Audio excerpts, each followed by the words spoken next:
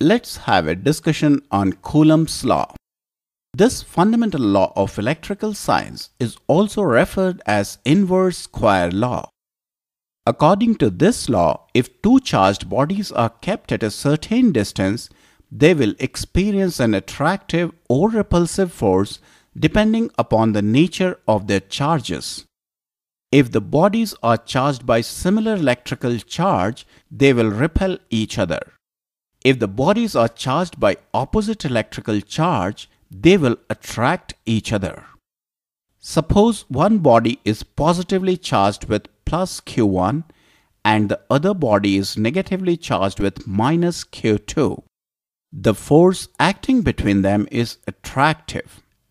Again, one body is positively charged with plus Q1 and other body is positively charged with plus Q2 the force acting between them is repulsive.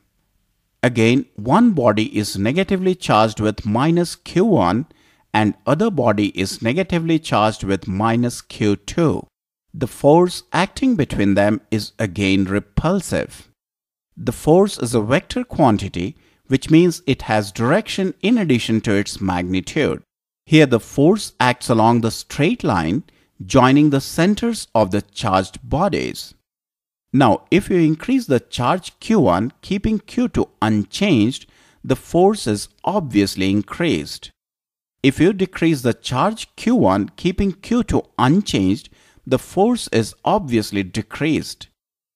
Similarly, if you increase the charge Q2 keeping Q1 unchanged, the force between them is again increased. If you decrease the charge Q2 keeping Q1 unchanged, the force is obviously decreased. According to Coulomb's law, force F between them is directly proportional to either Q1 or Q2, or in other words, F is proportional to the product of Q1 and Q2. Now, by keeping their charge fixed at Q1 and Q2, if we bring the charged bodies nearer to each other, the force between them increases and if we take them away from each other, the force between them decreases. If the distance between their centers is r, it can be proved that force acting on them is inversely proportional to r square. It is also obvious that this force is not same for every medium. For example, if the bodies are kept in air, the force is different from the force while they are kept in water. Variation of force according to the medium is determined by a constant, say this is K. Finally, we can say that force F equals Q1 into Q2 divided by K into R square. This is nothing but the expression of Coulomb's law. In SI system, force is measured in Newton Distance is measured in meter, charge is measured in coulomb, and K equals 4 pi epsilon 0 epsilon r.